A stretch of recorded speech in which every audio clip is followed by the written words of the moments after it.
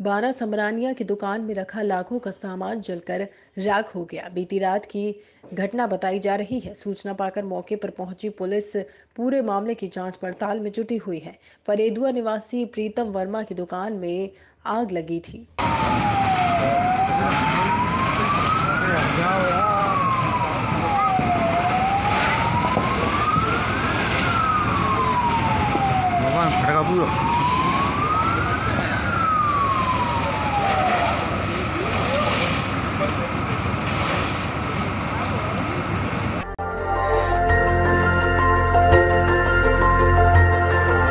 देखते रहिए डीवी भारती समाचार नज़र हर खबर पर।